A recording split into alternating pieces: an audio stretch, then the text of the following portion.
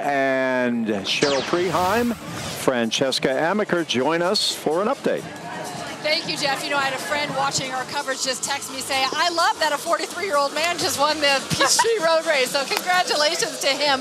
The energy here at the start line is fantastic. It is so much fun to see everybody running yes. past. We have so many families running past, a group of friends. We yes. had some firefighters just went by in full gear carrying American flags. There is such a spirit of celebration and patriotism here on the 4th of July. And you know, this is my first time watching this race. This is my first time being here covering it. This is remarkable to see my hometown coming out, 60,000 of you. And when I say the energy is booming, I mean, the music is fantastic. We're on the sidelines like, yeah, yeah, yeah, just pumping everyone up. And it's just this sense of coming together. There's nothing like it. And, and, it's just incredible to see the span uh, of people.